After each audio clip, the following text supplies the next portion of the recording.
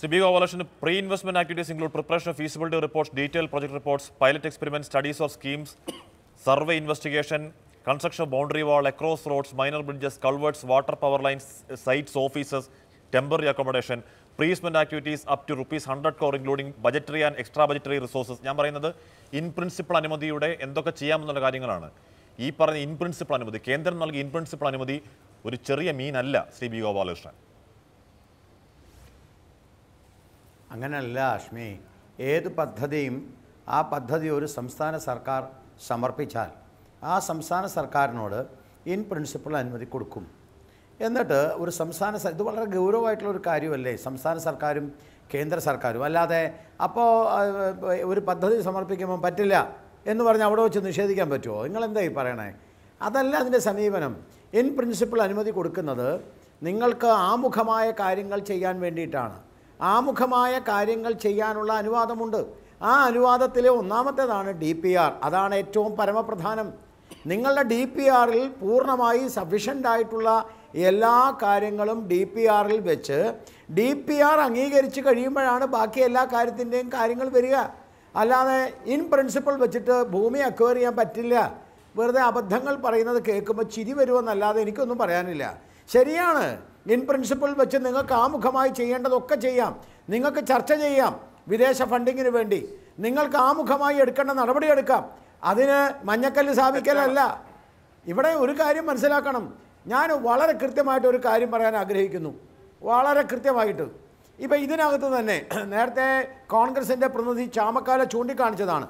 Consideration of the project will be depend consideration of the project will be depend upon techno economic viability ഈ techno economic viability എന്ന് പറഞ്ഞാൽ എന്താ? അതതിന്റെ ഏറ്റവും basic ആയിട്ടുള്ള കാര്യമാണ്.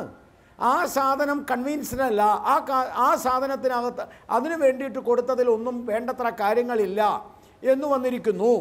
അന്ന് പറഞ്ഞാൽ അതിന്റെ അർത്ഥം എന്താണെന്ന് വെച്ചാൽ വേണ്ടത്ര രീതിയിലുള്ള ഹോംവർക്ക് ഒന്നും നടത്താതെ ഈ പദ്ധതിക്ക് വേണ്ടി പണമടിച്ചു മാറ്റാനുള്ള ശ്രമം നടത്തി. അതുകൊണ്ടല്ലേ ബജറ്റിൽ പൈസ ചോദിച്ചത്? ദാ മലയാള മനോരമ മാതൃഭൂമി പത്രത്തിലും ഫ്രണ്ടിൽ വന്നിരുന്നല്ലോ ഞങ്ങൾ ചോദിച്ച പതിനാല് കാര്യം. അതിലതാ ഒന്ന് സിൽവർ ഈ സിൽവർ ലൈനിന് കേരളിന് വേണ്ടി പണ. അപ്പോൾ പണം മേടിക്കലാണ് ഇവരുടെ ലക്ഷ്യം. ഒന്ന്.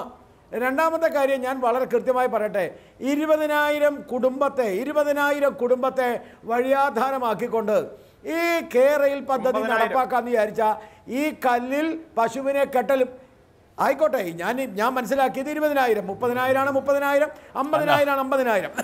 ഏറ്റവും. കുറവ് ഇരുപതിനായിരം കുടുംബങ്ങളെ അനാഥമാക്കിക്കൊണ്ട്. നിങ്ങൾ ഈ അല്ല ഇരുപതിനായിരം. ഞാൻ ചോദിക്കട്ടെ? നിങ്ങൾക്ക് എന്ത് വേണേ പറഞ്ഞോ. ഞാൻ ഞാനൊന്ന് പറഞ്ഞോട്ടെ ഒരാൾ സംസാരിക്കുമ്പോൾ ഒന്നാമത് ഈ അവസാനിക്കുന്നു. നിങ്ങൾ കുറച്ചുകൂടെ മാന്യത മനസ്സിലാക്കിയിട്ട് നിൽക്കുക ഒരാൾ സംസാരിക്കുന്നതല്ലേ? ആൾക്കാരെ കണക്ക് പറയുന്നത് നിങ്ങൾ ഞങ്ങളൊക്കെ കണക്ക് പറഞ്ഞോ നിങ്ങൾ നിങ്ങൾ നിങ്ങൾ നിങ്ങൾ കണക്ക് നിങ്ങളുടെ സമയത്ത് പറഞ്ഞോ. ഞാനുണ്ട് ഞാൻ എന്റെ സമയത്ത് പറഞ്ഞു നിങ്ങൾ നിങ്ങൾ. മിണ്ടാതിരിക്കുന്നു നിങ്ങളുടെ കണക്കല്ല ഞങ്ങളുടെ കണക്ക്. നിങ്ങളുടെ കണക്കല്ല ഞങ്ങളുടെ കണക്ക്. ശരി, ശരി, ഞങ്ങൾ ഇതുമായി ബന്ധപ്പെട്ട ആളുകളെ. കണ്ടവരാ. ബഫർ സോൺ 30 മീറ്റർ ഇരുപതിനായിരം കുടുംബം എന്നാ ഞാൻ മനസ്സിലാക്കണേ ബഫർ സോൺ ഇനി സെൻട്രലിൽ നിന്ന് ഞാനൊരു കാര്യം മീറ്റർ ഉണ്ട്. പറയല്ലേ അങ്ങനെ വെറുതെ വർത്താനം പറയല്ലേ? മുപ്പത് മീറ്റർ ഞാൻ- അതിലേക്ക് മീറ്റർ ബഫർ സോൺ ഞാൻ ഡി പി ആർ കാണിച്ചു തരാം അല്ലല്ല കേരളയിലെ അതെ മീറ്റർ ഇനി അതിനേക്കാൾ ഇതിന്റെ രസമായിട്ടുള്ള പിന്നെയും കൂടും. ഇത് ഒരു അല്ല ഒരു മിനിറ്റ് ശരി, ശരി, ഒരു മിനിറ്റ് ഒരു ഇല്ല, മിനിറ്റ് ഇല്ല, ഇനി എന്റെ അല്ല, സമയമല്ലേ? രണ്ടുപേരും തർക്കിക്കല്ലേ? സമയം പൂർണമായി ഞാൻ. തീർത്തോട്ടെ ഞാൻ തീർത്തോട്ടെ. അപ്പോ ഇരുപതിനായിരം എങ്കിൽ ഇരുപതിനായിരം. ഇനി നിങ്ങൾ പറയുന്ന നിങ്ങളുടെ കണക്കനുസരിച്ച് ഞാൻ പറയാം ഒമ്പതിനായിരം. നിങ്ങൾ പറഞ്ഞ ഒമ്പതിനായിരമല്ലോ ഒമ്പതിനായിരം പാവപ്പെട്ടവരെ കുടിയിറക്കിക്കൊണ്ട് കെ റെയിലിന്റെ അംഗീകാരം കേന്ദ്ര ഗവൺമെന്റ് തരില്ല. നിങ്ങളുടെ കുറ്റിയിൽ പശുവിനെ കെട്ടാം. ശരി എന്തായാലും ശരി ശരി ശരി ശരി. എന്തായാലും എന്തായാലും ഇതുവരെയുള്ള കേന്ദ്ര നിലപാടിൽ വെച്ച് കേരളിനെ പശുവിൽ കുറ്റിൽ കെട്ടൽ മാത്രമല്ല നടക്കുക. എന്തായാലും അതിന്റെ പ്രോസസ്സ് നടക്കുന്നു എന്നുള്ളതാണ് മനസ്സിലാക്കുന്നത്. ഇൻപ്രിൻസിപ്പൽ അനുഭവം നൽകിയിട്ടുണ്ട്. കൃത്യം കമ്മ്യൂണിക്കേഷൻ നടക്കുന്നുണ്ട്. എന്തായാലും കാത്തിരുന്ന് കാണാം കേരളിലെ മഞ്ഞക്കല്ലിൽ പശുവിനെ മാത്രമേ കെട്ടൽ നടക്കുകയുള്ളൂ എന്ന്. ചർച്ചയിൽ പങ്കെടുത്ത എല്ലാവർക്കും ഇനി അടുത്ത വാർത്താ ബുള്ളറ്റിൻ കാണാം.